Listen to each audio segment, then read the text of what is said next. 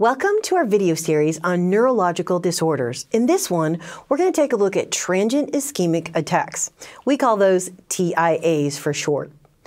Now, TIAs are caused by an interruption of blood flow to a local portion of the brain. That's why we call it transient interruption.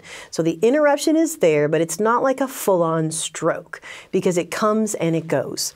Most TIAs last less than one hour.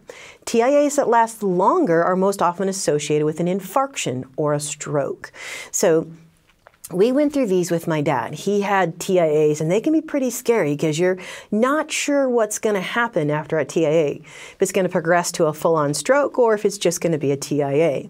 And that's why I want to remind you that the risk of permanent tissue injury i.e., infarction, even when focal transient neurological symptoms last less than one hour, there's still that risk.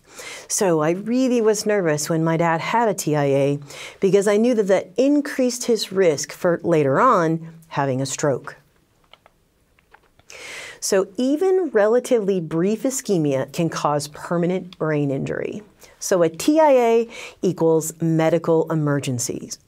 TIAs are warning signs and patients should get immediate medical treatment. So say you're at home with someone and they're showing you these signs, you need to get them immediately to the ER because one in three patients will progress to ischemic stroke.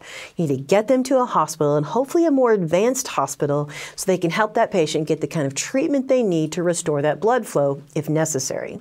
So what is the difference between a TIA and stroke?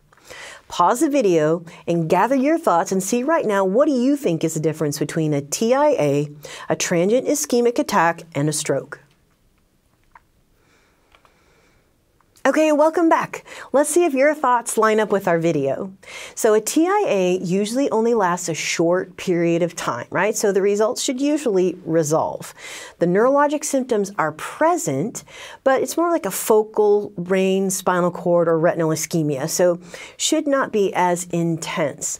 There's no infarction of the tissue, but it does suffer an ischemia.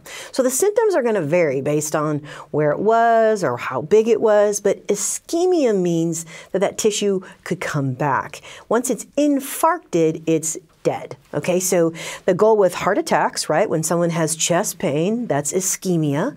We want to make sure that ischemia doesn't turn into infarcted heart tissue. Same thing with the brain. We want to make sure ischemia doesn't turn into infarct. Now, if someone has an ischemic stroke, they have definite neurological symptoms. They have infarcted CNS or brain tissue. Their symptoms vary based on the size and location of the infarct, and they could have some neurological deficits that remain far longer than a TIA. So there's some other transient neurological events that might look like a TIA. TIA is one of them, but there's some other common causes that will need to be ruled out. So if someone is starting to show you these symptoms, it could be other things. It might be seizure, a migraine aura, or just syncope, which means feeling faint or dizzy. Now, those are the most common causes that might mimic or look like a TIA. Some other less common but possible causes could be low blood sugar, hypoglycemia. If we can just restore that blood sugar to a normal level, the symptoms should resolve. Sometimes exacerbations of multiple sclerosis can look like a TIA or a transient neurological event. A brain tumor might be causing that, or even a subdural hematoma. Now, those are the four most likely less common but possible causes.